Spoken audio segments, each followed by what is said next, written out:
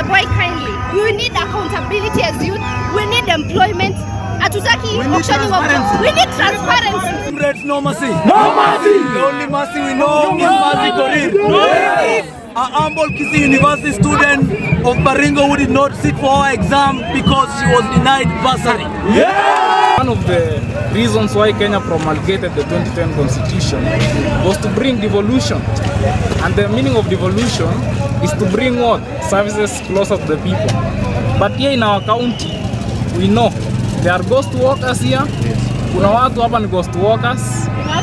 Kuna watu hawiko qualified wanapewa kazi. And also na kujuana. Sisi kama vijana Gen Z, we are so much disappointed. We are so much bitter because our governor, public service board, they are selling our jobs. For me, for example, nilienda interview agriculture. Agriculture wakauza wakaniambia kama you don't have 400,000 upati kazi. Wakaandika watu wenye hawana documents, wakaandika watu wenye wako na fake papers. Wameandika mpaka mtu amefanya sociology na amewekwa kwa department ya agriculture.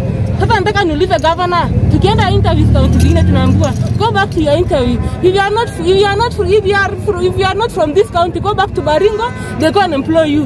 When we come to Baringo, hawatupei kazi, they sell our jobs, they hire ghost workers, they hire their relatives. Kuna watu wako kazi sahii waliwekwa kazi na hawajafanyiwa interview like for, for example kwa revenue kuna watu wako kazi lakini they, waliwekwa tu hawakwenda interview they don't have papers so we are demanding for our rights